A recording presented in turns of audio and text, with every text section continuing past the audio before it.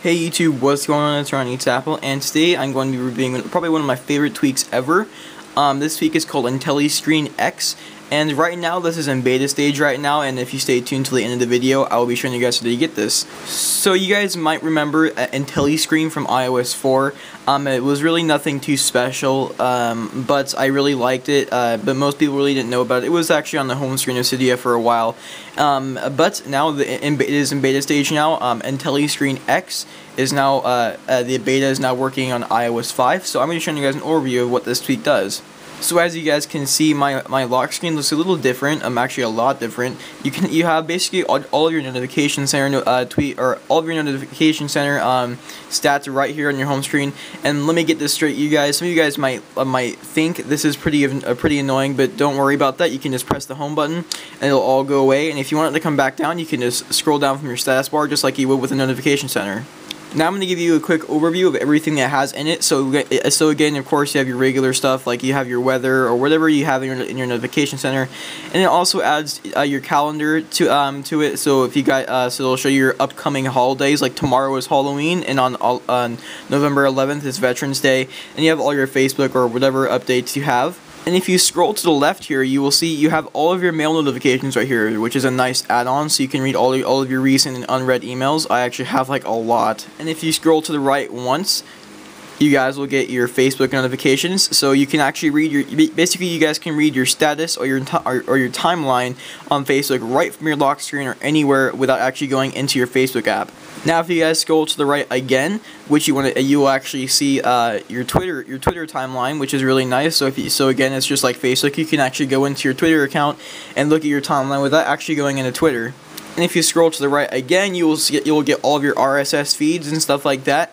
Um, right here, you guys can see um, it actually comes with, uh, it comes with a few custom RSS feeds, which is basically Google News.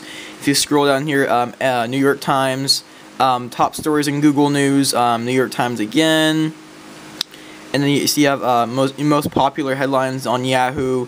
Um, and just a whole bunch of other uh, custom RSS feeds, and you can actually add these uh, via in your settings. Now, when you guys add this week, you'll get a um, a icon on your home screen, which will basically you guys have to, it'll take you to it. Um, you could actually just go into your settings, you can download it and purchase a license. You can purchase this, and um, by the way, you guys, when this does come out, it will be $9.99. I'm pretty sure.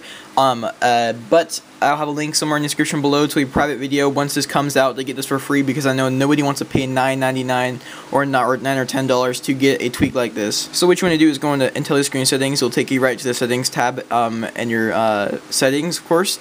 And you can go and you can add your email account. You can uh, you can uh, do some stuff in your notification center. You can go right here and you can add your Facebook account and you can also add your Twitter account. And you can go into your RSS feeder, and you guys can add, um, uh, like you can go to your settings. You can show how many uh, titles you want, how many, um, how many lines you want it to preview.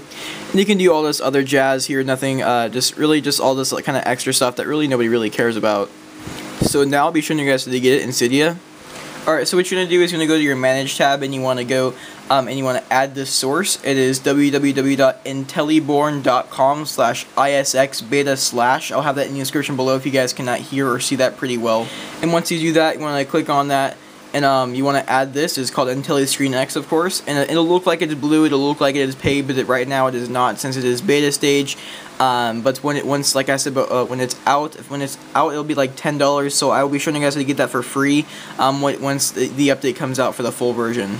And also, you guys, if you just want it, uh, when it comes out, it'll have a free trial. So if you guys just want to try out the free trial, and if you guys don't like it, you can just say you don't want it and don't download it. Alright, that's pretty much it, you guys. Thank you guys for watching. Don't forget to rate, comment, and subscribe. And also, you guys check out my last video. I did an unboxing and a review of the audio glove case from fattygear.com. And, um, uh, make sure you guys do follow me on Twitter. I'll, have all the links down in the description below. And th thank you guys for watching again. Don't forget to comment and subscribe. Peace.